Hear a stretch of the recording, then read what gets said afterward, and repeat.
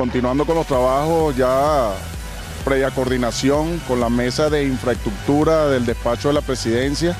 Eh, seguimos aquí con los trabajos gracias a Barrio Nuevo, Barrio Tricolor, quien ha tenido eh, ese apoyo para nosotros y continuar con el embellecimiento de los alrededores de Miraflores en esta gran comuna donde están involucrados más de 13 consejos comunales, siendo beneficiados tanto en la parte de Barrio Nuevo, Barrio Tricolor y en, otro, y en otros aspectos, dándole mayor suma de felicidad posible a todo el personal que vive en estos alrededores del Palacio de Miraflores.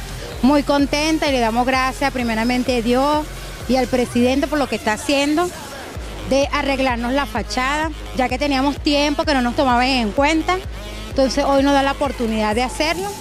Este, aquí estamos colaborando los que trabajamos en las casas, le damos gracias a los guardias por todo el apoyo que han, que han prestado y gracias al barrio Tricolor y, los arquitectos y los coroneles que han estado aquí con nosotros apoyándonos en lo que, en lo que necesitemos y nosotros apoyándolos a ellos también.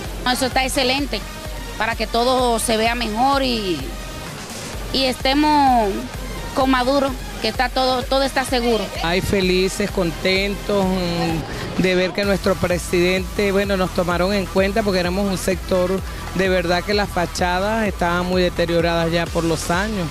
18 años teníamos aquí, bueno, y darle un saludo, que estamos felices y contentos de verle el buen vivir al que le está apostando hoy en día.